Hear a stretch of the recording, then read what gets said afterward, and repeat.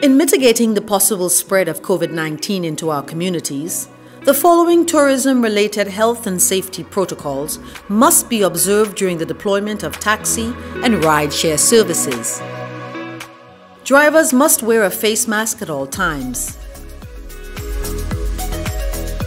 The official COVID compliance obtained through the Ministry of Tourism must be displayed when on duty. No shaking of hands. A gentle nod or elbow greet will do. Hand sanitizer should be offered to guests prior to entering the taxi.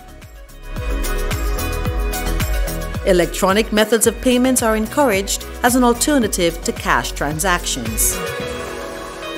All guests must keep their feet on floor mats and wear a face mask throughout the journey.